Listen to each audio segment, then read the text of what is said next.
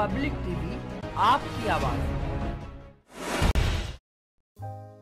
दिव्यलोक आश्रम में दीक्षा का पर्व धूमधाम के साथ मनाया गया।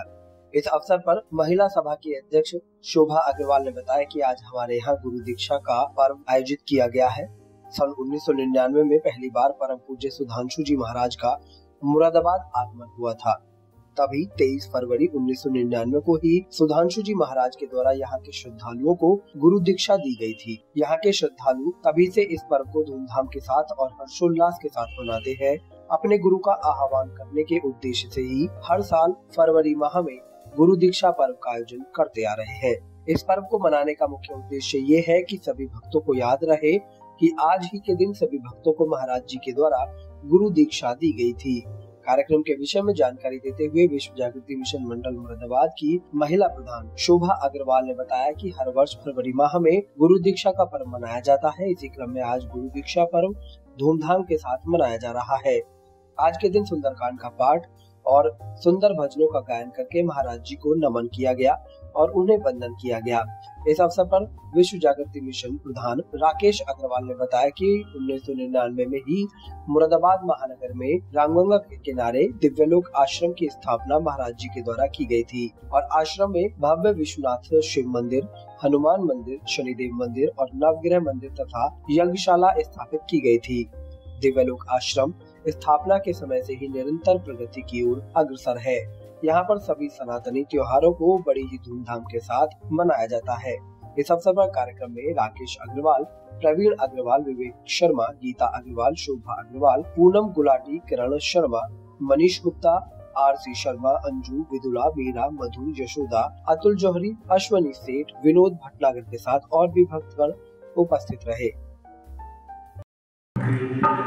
तुम तेरी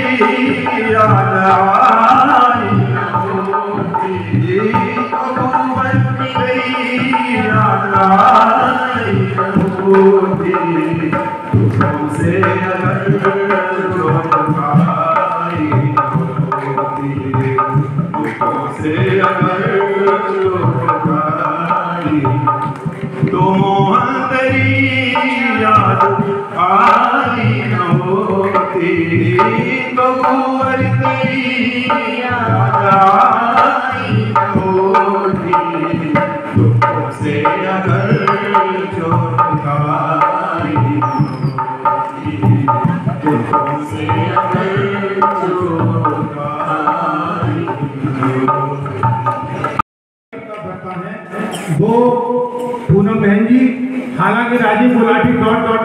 है लेकिन पूनम बहन जी देख रही है। दूसरा त्रिवीन जी और तीसरा पूरी संगत है ये। और ये चौथा नाम जो गुप्त है बिल्कुल, और हर तरीके से उन्नीस महाराज जी आए थे, जब से वो कार्यक्रम करती चली आ रही आशा भंडोला जी और राजेंद्र भंडोला जी। उनकी सेवा को हमें फिर माथे पे चढ़ाना चाहिए कि ये परिवार इस तरीके से निश्चित तरीके से लगा हुआ है कि पूरा भंडारा चाहे सौ आदमी का बने या हज़ार आदमी का बने, हमें कोई मतलब नहीं है। वो पूरी व्यवस्था समाप्ति चली आ रही है। एक दफे उनके लिए बहुत ज़ोर से और सबको खुश से बैठना चाहिए ये तो करूँगा मेरी ड्यूटी है। महाराज जी आएँगे और घर घर पर आएँगे। आप लोग जो है, खूब उनसे मिलिए, खूब उनसे जो है गुप्त करिए। लेकिन सुस्त होकर मत बैठिए कम से कम। आज हमारे यहाँ गुरु दीक्षा पर्व का कार्यक्रम आयोजित किया जा रहा है। सन 1999 में हमारे पूज्य गुरुवर सुधांशु जी महाराज ने मुरादाबाद की धरा पर पदार्पण किया था। तभी हमें उन्होंने 23 फरवरी 1999 में प्रथम बार गुरु दीक्षा दी थी। यहाँ के श्रद्धालुओं को।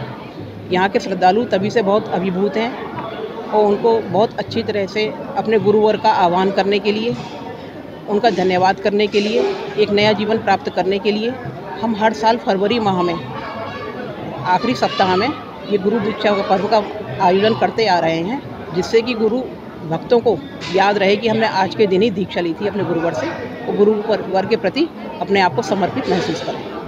हाँ इस दिन को किस तरह से मनाते हैं, क्या विशेष करते हैं? आज के दिन हम सुंदरकांड का पाठ करते हैं, रामायण का पाठ भी करते हैं, भजन संकीर्तन करते हैं, गुरुवर के प्रति अपनी अगाध श्रद्धा व्यक्त करते हैं, उनके भक्त, उनके भक्ति गीत गा करके। आज के दिन हम गायों को भोजन भी कराते हैं, कोड़ियों में खाना भी वितरित करते हैं, और आज ही के दिन हम समस्त संगत से गुरुवर के चरण पादुका का पूजन करा करके आरती कराते हैं, विशाल आरती होती है, उसके बाद भंडारा होता है। यही कार्यक्रम आज का चलता है। क्या संदेश देना चाहेंगे आज के कार्यक्रम के बाद? आज आपने के कार्यक्रम के बाद हम यही संदेश देना चाहेंगे कि आज के दिन तेईस साल पहले हमारा नया जन्म हुआ है। गुरुवर ने हमें नया जन्म दिया है। एक जन्म तो हमारे माता पिता के द्वारा हमें मिलता है दूसरा जन्म हमें गुरुवर के द्वारा प्रदान किया जाता है। उस जन्म को आज हमें तेईस साल हो गए हैं। सभी गुरु भक्तों से हम आवाहित करेंगे अपने गुरु के प्रति आवाज़ अगाध श्रद्धा रखते हुए उनके वचनों को अवश्य माने। उनका पालन, नियमों का पालन, वचनों का पालन अवश्य करें। पब्लिक टीवी, आपकी आवाज़।